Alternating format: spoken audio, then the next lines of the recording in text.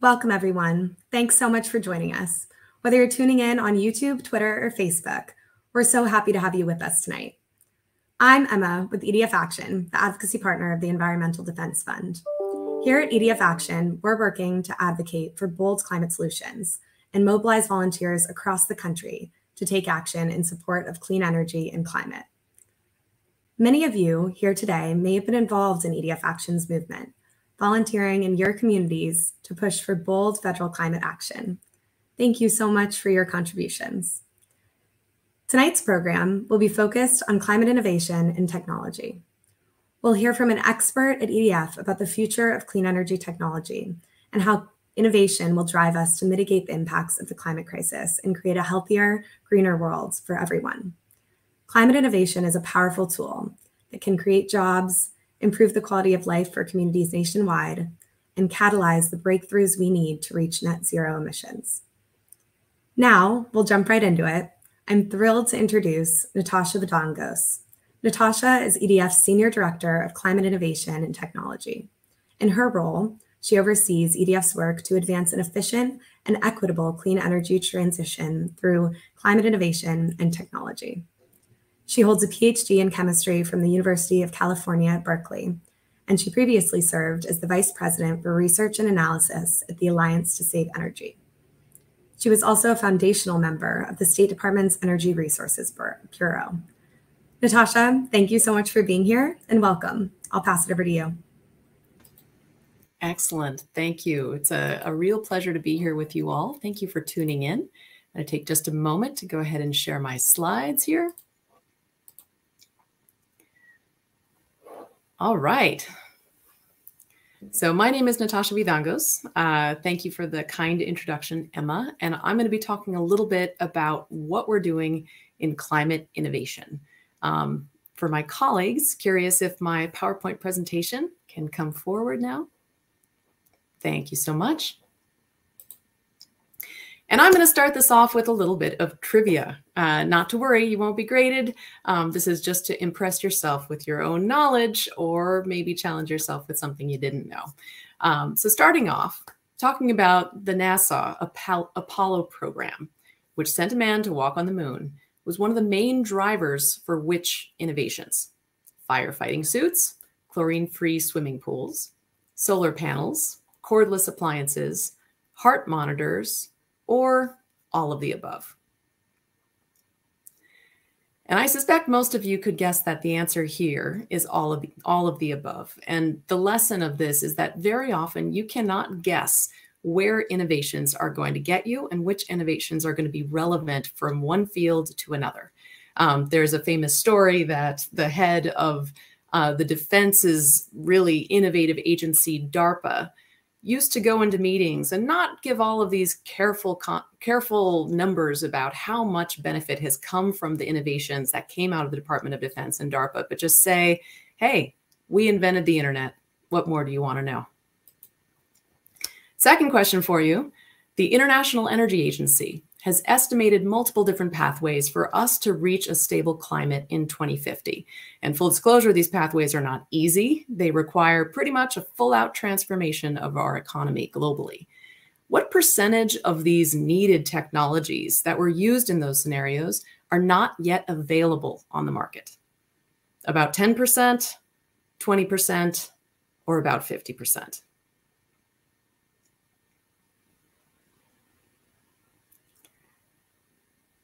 And the answer here is a little bit under half. Uh, the thought is that if we really are going to achieve net zero emissions, most of the ways to do it are going to require a number of technologies that only exist at a prototype stage or in a demonstration stage, which is to say they're only available in a lab or in early demonstration projects that are just getting going. You can't necessarily go out and buy them on a market today. So that's a room for innovation. Next question. From 1978 to 2021, how has US government spending on energy innovation changed rel relative to its economy? We live in an era of innovation. What happened to our public spending on it? Has it increased, decreased, or about stayed the same? The answer to this one might be surprising to you. It's actually decreased out to 2021 pretty significantly. The amount of money the US spent on energy RD&D in 2021 as a percentage of GDP declined 75% since the 1970s, even as the growing threat from climate change made it more important than ever to invest more, not less. But I have a very big asterisk to add to this story, which is that that was 2021. In 2022, something really big happened, which was the passage of the Investment in Infrastructure and Jobs Act, the major infrastructure bill that went forward, which pretty much doubled the spending on innovation in RD&D as measured by RD&D spending at the Department of Energy from fiscal year 21 to fiscal year 22. So this chart shows you on the left in millions of dollars the amount of investment that took place. You can see it was much higher in the 70s coming off of the oil crisis, came down, stayed down for a long time. There was a peak during the American Recovery and Reinvestment Act and then just last just this year really we're seeing this enormous spike that came out of the investment bill. So that investment bill really, really mattered. And the politics that got it across the line were really extremely important for getting us a major step forward. Let's talk about the private sector. About what percentage of private revenue do energy companies spend on R&D? 0.3%, 3%, or 13%?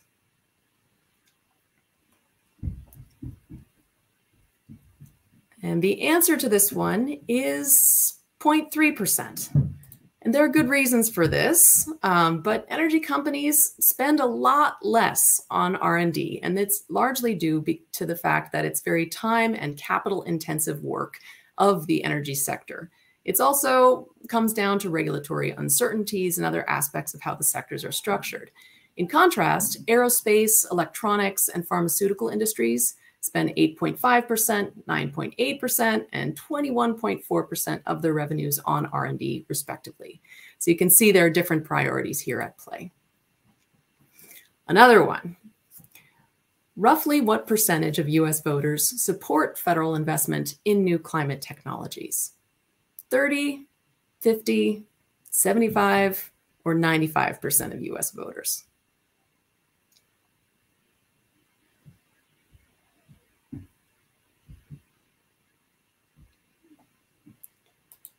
The answer here is 75%.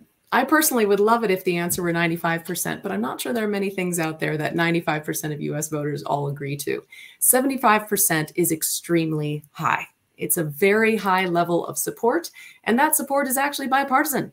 Um, according to some polling that my team conducted with Morning Consult, the majority of Democrats and Republicans think it's important for the federal government to invest in new climate technologies that reduce emissions. So we do have alignment on the fact that this is a place we want to go. So I hope you enjoyed those moments of trivia. I'm going to move now uh, into the presentation itself. And it makes sense for any presentation on climate innovation to start out explaining what climate innovation is. Lots of people use the word innovation to mean very, very different things. Uh, you can basically frame it to describe all human thought. So, what are we really talking about if we're talking about climate innovation? And I put forward the following very simple definition, which is the creation and application of new or enhanced climate solutions. Anything that allows us to do better in the way that we respond to climate change. And why should we do it? What's the value? And I think the value around it is becoming a whole lot more apparent as we move forward in time and reach greater and greater difficulties at achieving our final goals in terms of stabilizing the climate. And this is a quote that's coming from the International Energy Agency. They say pretty straightforwardly without a major acceleration in clean energy innovation, net zero emissions targets will not be achievable. And here's the stat that informed um, informed the trivia. Around 35% of the cumulative CO2 emissions reductions needed come from technologies currently at the prototype or demonstration phase. A further 40% of the reductions rely on technologies not yet deployed commercially at scale. So the IEA is not the only one to come to this conclusion. It's coming out from the IPCC, it's coming out from the private sector, And increasingly, we're seeing innovative solutions are likely to be necessary in order to reach our climate goals. And when you think about climate innovation, we're looking at this beautiful photograph of an offshore wind turbine. I think very often people tend to just think about that wind turbine. It's a piece of technology, it's something that you can see and touch. But I would love to persuade you in my time with you today that it's not just about one wind turbine, that when you're looking at the scene, what you're really looking at is something that's more like an ecosystem. And we know that this, the climate needs to stabilize with healthy ecosystems. The same is true for the ecosystem of innovation. In, in this beautiful picture of a forest, you have trees, you have plants, you have brush, you have a water source, you light, and the different plants and creatures of this forest have grown up together. Some of them likely compete with one another, another for sunlight. Some of them help each other grow by fertilizing the soil and preventing erosion. But in the end, they've all grown up together in a way that works and meshes together. The same is true when we're talking about specific innovations and when we're talking about the energy technologies and solutions that surround us today we may be able to look around and we have a lot of tools we can use right now to address the climate crisis. And those tools are really critical. Using more renewable energy, using our energy more efficiently, trying to clean up processes that have environmental damages and that cause challenges for our communities. We need to deploy as much of that as we can. But we also need to think about what's happening under the ground. So I like to think of innovation as the roots that form, the planting of the seeds that eventually lead to the growing out of roots and eventually the flourishing of an organism that can grow in that ecosystem. And a lot of innovation happens behind the scenes. Many people aren't actually witnessing the work that's happening in a laboratory or at public utility co commissions or in other places where innovative ideas, technologies, policies, and science are being pursued. But they are mm. really necessary to make sure we get to the point where we have a healthy organism that can grow into something that really bears fruit for us. What does it look like when it works? We get new answers for areas like hard to abate sectors like industry, heavy transportation, places where we need alternative fuels, where we don't really have simple solutions that can solve the problem today. Innovation is very often our greatest tool to address those specific areas but it can also lower the costs and enhance the performance of existing tools. We're going to rely an awful lot on solar and wind and other sort of standard renewables to carry the weight of decarbonization. There is value in us making them more efficient, more affordable, easier to optimize, easier to recycle, etc. And finally, innovation is also about maximizing the positive impact on more people it's not just about technology, it's also about how our solutions really work in society and in our homes and in our backyards. And there's some examples here of clean energy technologies that benefited specifically from federal investment in climate innovation. Solar energy costs plummeted by 89% in the last decade, wind energy by 70%, electric car battery costs dropped 89% in the last decade, one of the reasons why you see a lot more electric vehicles on the road today. And utility scale battery storage costs have declined nearly 70% between 2015 and 2018. Just a few years made that much of a difference. Innovation. In thinking about how it works, very often new solutions go through a sort of kind of pathway, a pipeline, which I'm representing here with an arrow, and it usually starts with identifying a specific problem, developing strategies, building support around those strategies, figuring out the policy and market drivers, and then scaling it up and using it. And I like to use the example of EDF's experience and contribution on methane. EDF was one of the first organizations that found that methane leakage really was a problem for the climate. That was perhaps the most important innovation in the process. Again, not a technology, a scientific insight. After that, it transitioned to a point where we could talk about how we measure leakage and mitigate it. Did the tools exist to measure how much methane was being leakage and could we build them if they weren't ready? Building support among the private sector and policymakers to help drive the incentives that create the interest in regulating methane. And later this year, we're going to be launching the methane satellite. So this whole process really is one that has many steps, many different stakeholders, and many ways that it can work. It's also challenging to make it work perfectly. And in general, there are always ways to make it work better. Taking that same arrow and putting some slightly wonkier terms onto it, those early stages of research are often called research and development. As the project is starting to get larger and scale up, it's often considered to go into the demonstration phase. And then finally, when you're really scaling up very, very quickly and making a lot of a product, selling it on the market, that's generally considered deployment. An interesting feature about this pipeline is that it's not generally supported by all of the same institutions. So this is a chart that's showing you the pipeline again from research and development, demonstration through deployment, and how many dollars are invested. It's just a schematic, not a not a perfect num numerical representation. but you see in the early stages of research, it tends to be funded by governments and universities. There's a lot of risk in these early stages. You're not sure you can sell the product yet. So very often it's public funding that gets this work to be done.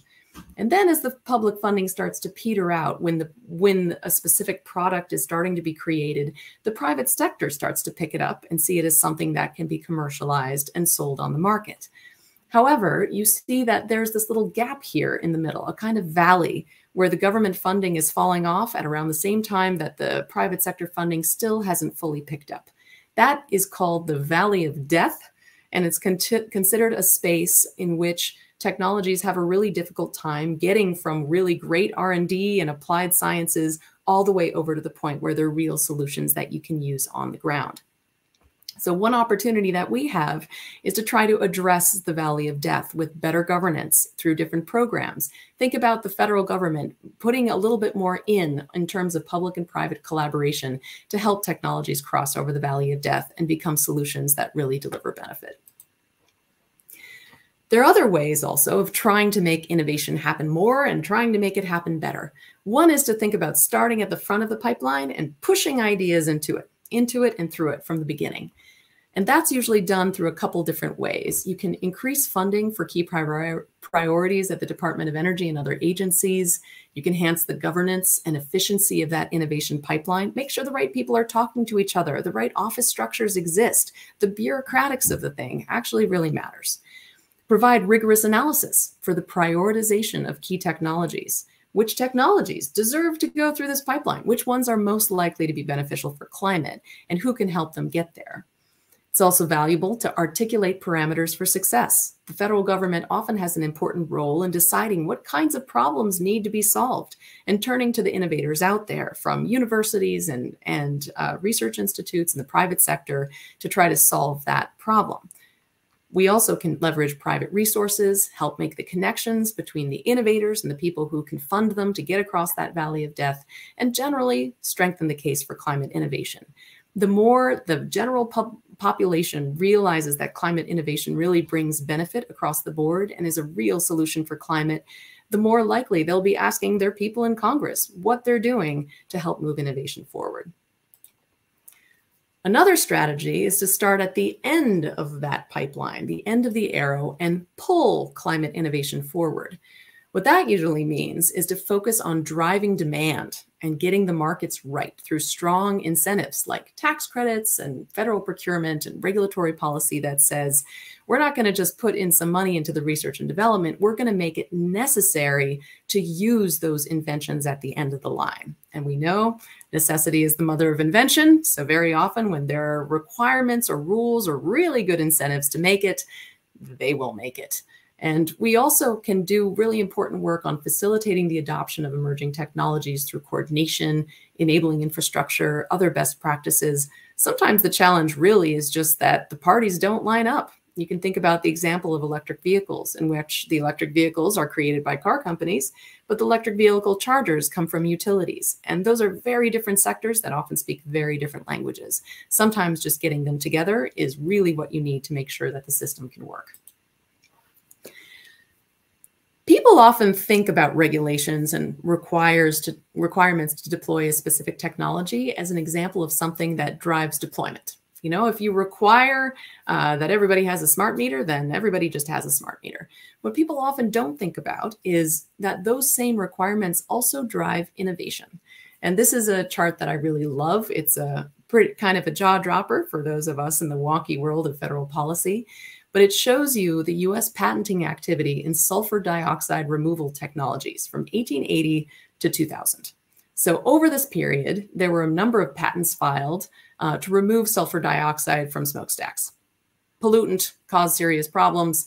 They wanted it out.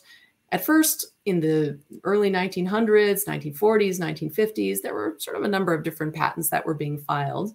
Some federal R&D was introduced in the 50s, but it was really the passage of the US Clean Air Act in 1970 that suddenly created an explosion of new patents for new ways to do it. When it was required, the private sector especially suddenly had a lot of in incentive to figure out easier ways to do it and better ways to do it and they drove a massive ring of innovation so the policy and the regulatory environment and climate innovation can be linked to each other in important ways so what comes next? What are we doing at edf about climate innovation and how can we keep driving it forward going into the coming years? Every year there's a major appropriations process in which the federal government it you know gets its budget for how much it can spend on innovation each year. And we provide consistent support to try to get consistent support to make sure innovation is fully funded going into the future we also support the implementation of programs at the department of energy and other agencies to make sure they're run well and that they really succeed we provide rigorous and timely analysis to answer key questions on technologies impacts and implementation strategies, and we work to deepen conversations across the agencies and with re relevant national laboratories to make sure that the greatest opportunities are really being taken advantage of. So I'll wrap up with just a few political observations. Innovation, as we're seeing it in federal policy and on the Hill, really can be bipartisan. It's a very hopeful area uh, going into what may be a slightly changed political reality as we come to the end of the year. At the same time, it's not always the highest priority topic for any specific party. So it's an area where really flagging the importance of innovation for your congressmen or your senators is a really valuable goal. This year has been a great year for public support for innovation, and we took a massive step forward. The folks who are responsible for that really deserve our applause. It has the potential of creating a major step forward for the climate. But a lot of work still does lie ahead to ensure that we use those funds well. Right now, a lot of federal workers at the Department of Energy and elsewhere are really working very, very hard to figure out how to spend all of that money effectively in a very short amount of time. Future, uncertainty in innovation funding could also jeopardize progress to date. One of the things that doesn't work very well with a pipeline is having gaps introduced in the middle of it. So right now, the real challenge is how do we use what we have well and how do we ensure that in future years we keep it moving and keep it going otherwise we really could set ourselves backwards i'll note that the emphasis on innovation is likely to increase over time because addressing climate change is hard and it's going to remain hard and it's potentially going to get a little harder but Right now, innovation processes aren't always guided by climate priorities. So now is a great moment to really see innovation through the lens of one of our strongest tools to address climate mitigation. So you can help. We'd love your thoughts when you're reaching out to your congressman or congresswoman. Think about asking questions about what they've done on innovation. If they were supporters of the infrastructure bill, thank them for the hard work. A lot of people stuck out their necks to make sure that we had those resources available and they really could be a part of the transformation, just like you. And with that, I will pass it back to my colleagues.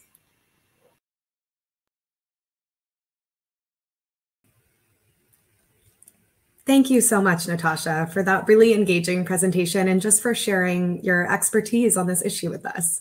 It's been just fascinating to learn more about what climate innovation is and all of the phenomenal work that EDF is doing on the front lines to develop technological solutions to the climate crisis.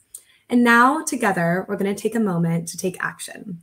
On the screen, you'll see a link and a textable phone number to send a quick email to your senators in support of bold investments in climate and clean energy. This action only takes a minute, and it has a big impact. As Natasha discussed, we need federal policies that support climate innovation, technology, and infrastructure to create jobs, improve the lives of American people, and drive economic growth. This summer, we have an unprecedented opportunity to move forward transformative investments in clean energy and really mitigate the impacts of the climate crisis. Now you can use the provided link to email your senator. It just takes a few seconds using our quick and easy click to email tool. This is a really impactful way to ensure that our lawmakers see the really widespread support across this country for climate solutions and investments to mitigate the impacts of this crisis. And now we'll go ahead and move into Q&A with Natasha. If you have any questions, please do add them to the chat. Great. Well, thanks, Natasha. Welcome back. Um, thanks so much for the wonderful presentation. And we're so excited to cover a few questions um, this evening uh, over the next few minutes. So I'd love to kick it off. Um, I see a question from a member about the bipartisan infrastructure law. And you touched on this just a bit, but I'd love to talk a little bit more about that law. I know that it included billions in new funding for testing new climate technologies. And I'd love if you could just tell us a bit more about that investment and how that's that's rolling out across the country. Yeah, absolutely. That's a great question. Um, yeah, so the infrastructure bill included a lot of different things in it. One of it, it, one of the elements in it was the creation of a new Office of Clean Energy Demonstrations. So you remember I mentioned this issue of the Valley of Death. Um, this new Office of Clean Energy Demonstrations is an attempt to really take a serious punch at the valley of death and fill it and, and create an opportunity for technologies to get across the way and it is the office received 20 billion in federal dollars. And just to give a sense of how much that is, the entire budget of the Department of Energy is usually runs about 60 billion. So they received almost an additional third of their budget in order to move these projects forward. And that is part of the challenge with demonstrations. They tend to be really large projects and they tend to require a fair amount of resource in order to get them up and off the ground. Um, so the Office of Clean Energy Demonstrations will be putting out um, specific programs that relate to hydrogen hubs, uh, direct air capture hubs, some investments on industrial decarbonization and other areas. So we're very interested in seeing where these specific hub projects go and how we can make sure that they're really developed responsibly, effectively, and that we learn as much as we can from them so that they can create positive models for how we deploy technologies going into the future.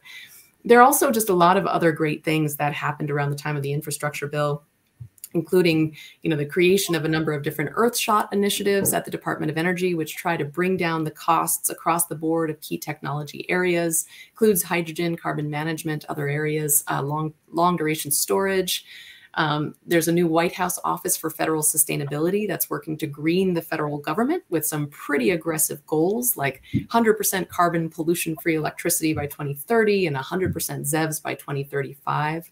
I'll also note that, you know, through the the long and protracted debate around the reconciliation package, uh, there are an additional billions in clean energy tax credits that are being considered and discussed. They're still considered and discussed, and still a great moment to be talking to your uh, your people in Congress and it, urging that we continue to support these opportunities going forward.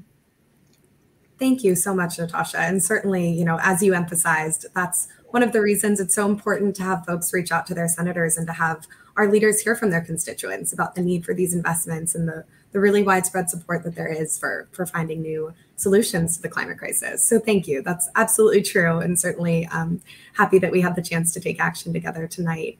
Um, and another question I have is about um, climate innovation in the US in comparison to other countries. I'm curious to know how our work here in the US in the innovation space compares to that of other countries? And are we really competitive in the worldwide race for technological solutions to the climate crisis that's affecting all of us?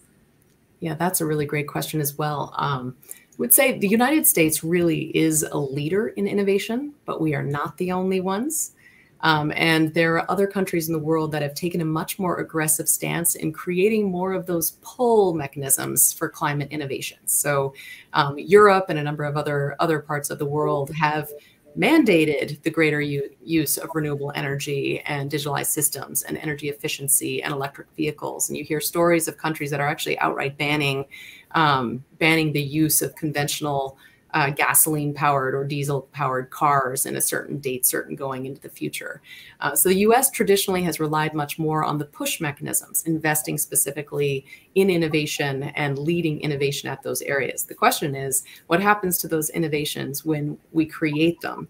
Are they going to go to a global market where more often than not they can really move out to other countries and go to other places and continue their development in other parts of the world. So it's a it's an interesting dilemma, but also an interesting opportunity because the you know the private sector in our country is very aware of what the commercial opportunities are across the globe and the globe is moving in the direction of cleaner more climate friendly technologies. And the US really has all of the tools at our disposal and the history and the expertise and the strong institutions to really lead at innovation.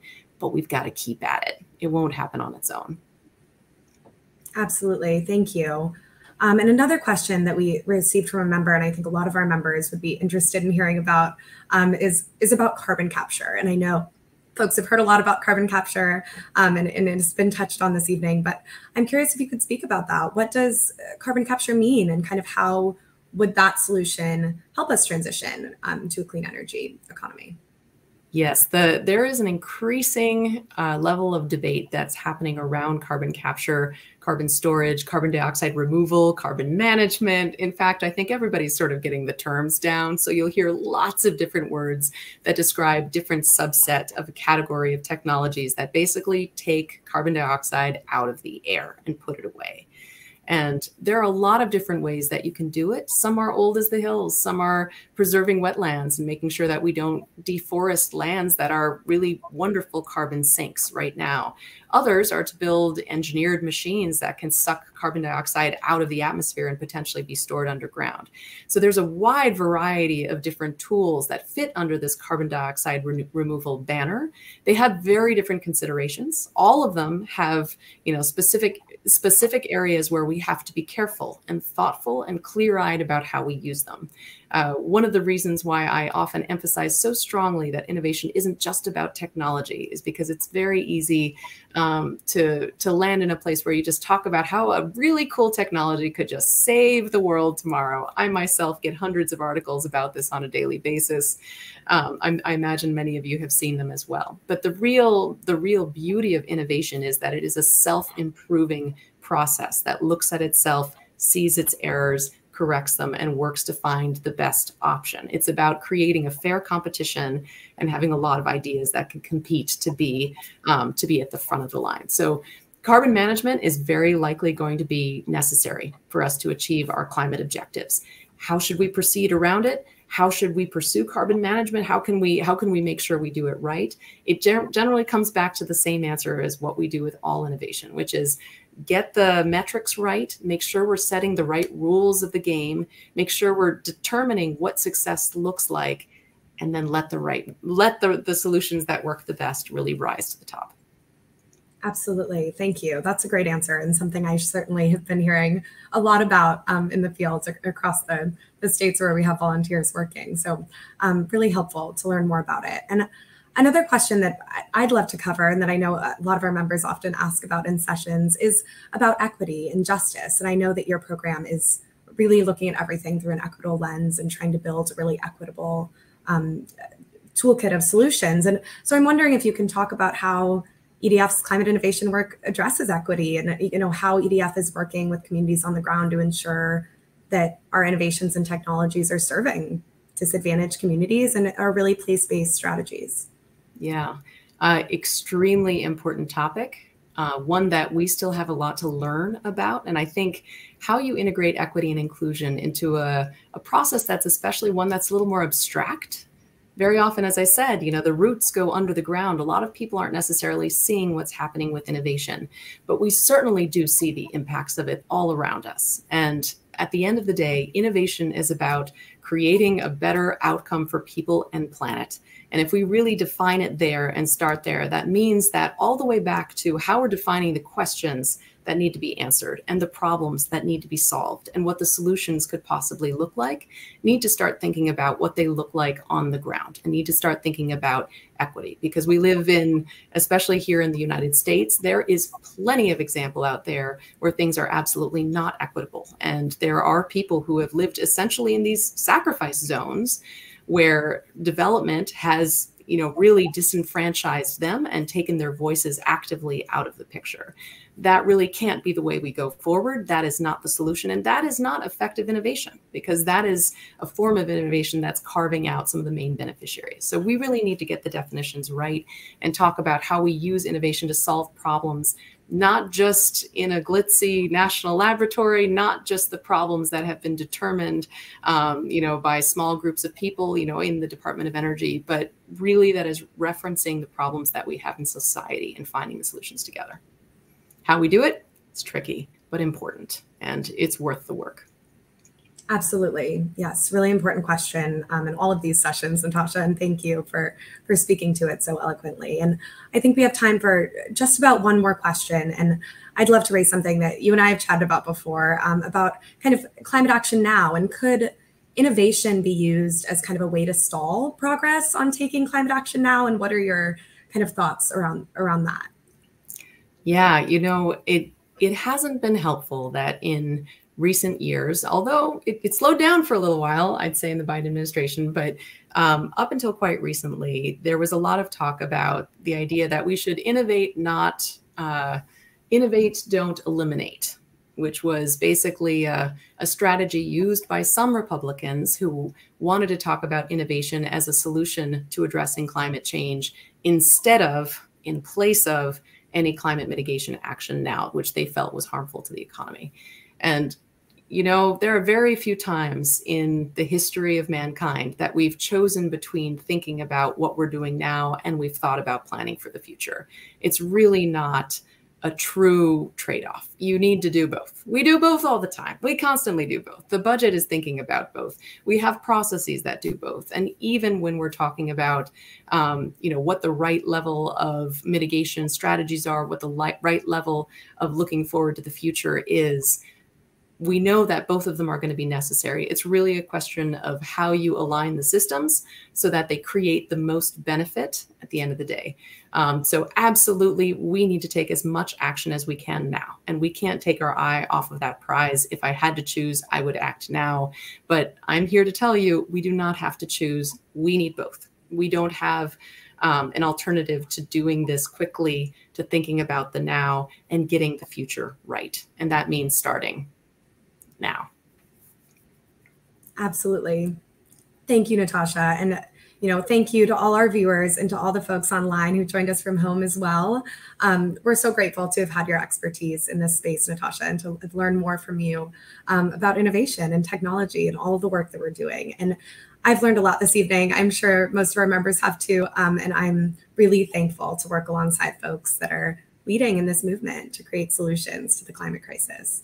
Um, and my colleague will, will drop links in the chat um, on our social media platforms for everyone to find a bit more information about climate innovation and the work EDF is doing in this space. Um, and certainly, if there are further questions um, in the comments, we're happy to, to follow up and be in touch with folks. But thank you again, Natasha, for your time this evening. And thank you to all our viewers at home for joining us. Thank you. Bye.